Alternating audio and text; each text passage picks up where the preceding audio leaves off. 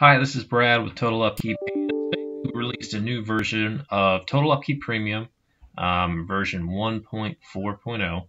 And so I just want to take a moment to quickly um, talk about it. In this release, if you actually um, look at the change log, we've got a bug fix, which is um, a bug fix where Total, Total Upkeep had a conflict with W3 Total Cache.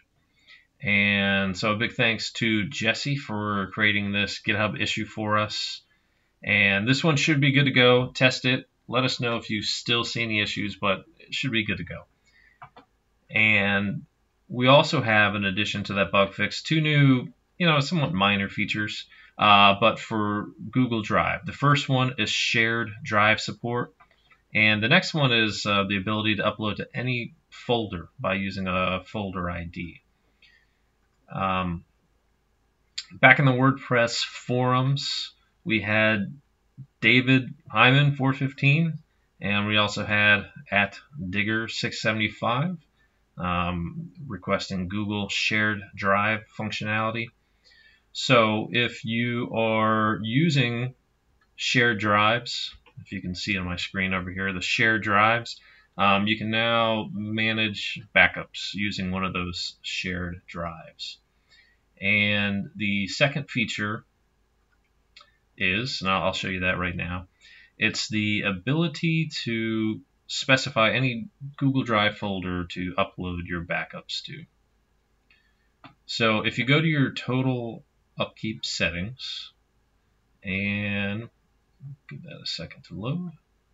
And then in the left hand uh, menu, go ahead and choose uh, backup storage. And then next to Google Drive, I've already got it authorized, but go ahead and click Update next to Configured.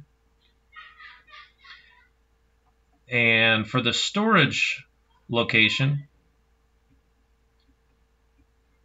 all right, um, you can click this help icon for a little more help, but you can either choose a folder name, which is the default uh, behavior, the way it always was, or you can specify a folder ID.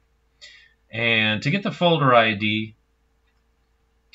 um, I got a temp folder here, and you know I'm going to go into temp two, maybe even temp three if I wanted to. So we're quite a few levels deep. But just go to the URL, copy that ID right there from the URL, and just throw that in as the folder ID, and go ahead and save your changes.